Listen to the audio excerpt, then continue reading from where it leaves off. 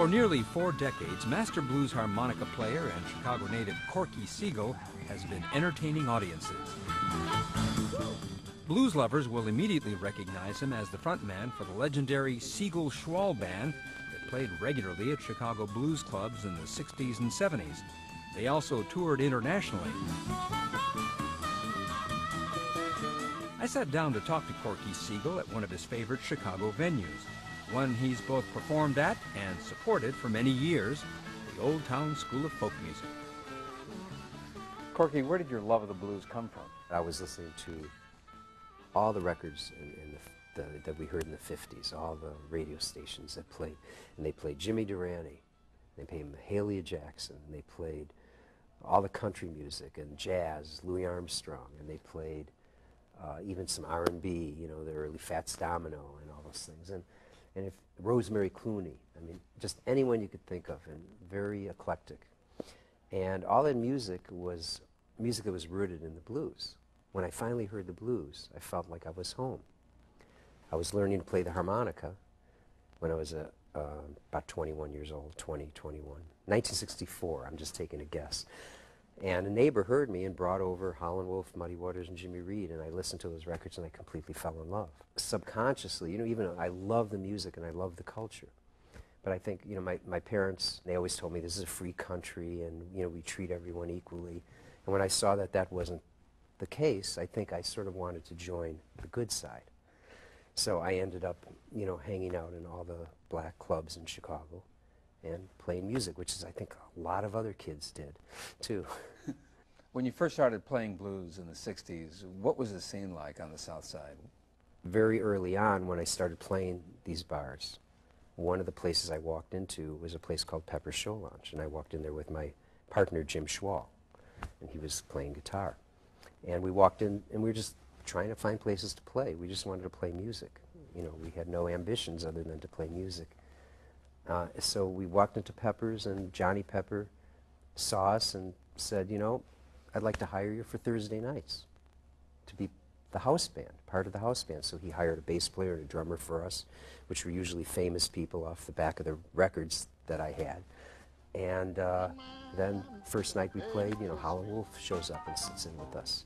Little Walter sits in. And another night, uh, Willie Dixon. She look me in the eyes and say, if it, th th thing's all right, I get nervous. Muddy Waters.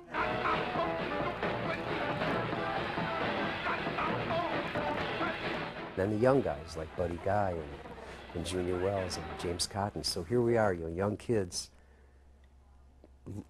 who, who were head over heels in love with the blues. And here we are, you know, getting to play from, you know, 9 o'clock at night till 2 in the morning, sometimes later, with all these guys, these famous people, these amazing blues masters sitting in with us night after night.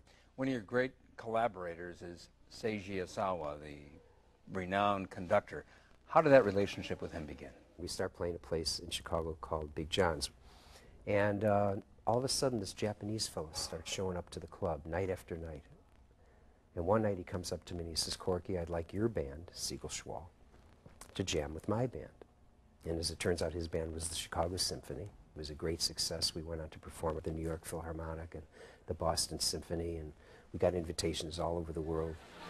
Tonight, from the Champagne and Flowers of Symphony Hall in Boston, it's Evening at Pops with Arthur Fiedler, Boston Pops Orchestra, and tonight's special guest, the Siegel Schwall Blues Band. Boston's grand man of music, Arthur Fiedler, and special guest, the Siegel Schwall Blues Band from Chicago, together on Evening at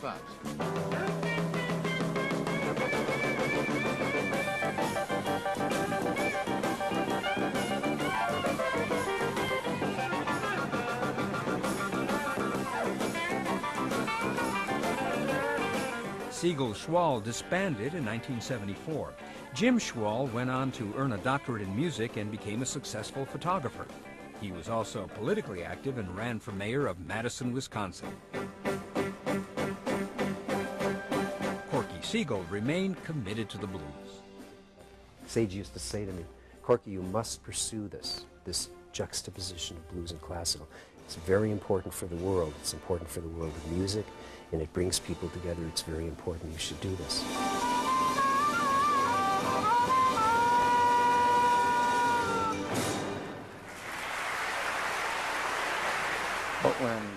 Seiji Ozawa first proposed this idea of this fusion, for want of a better term, between blues and classical, what was your reaction to it?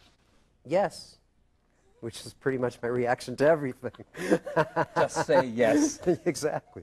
Yes, you know, you know. I, I, guess it was an artistic inclination, and I'm, I was fortunate to have that, rather than thinking, hmm, that's going to be weird. You know, I just went, hey, yes.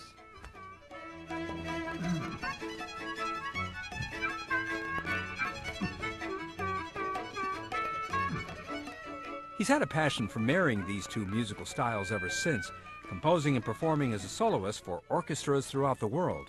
In 1983, Siegel took another creative chance, forming a new band dedicated to performing his unique blend of blues and classical. Chamber Blues features Corky's blues harmonica alongside a classical string quartet.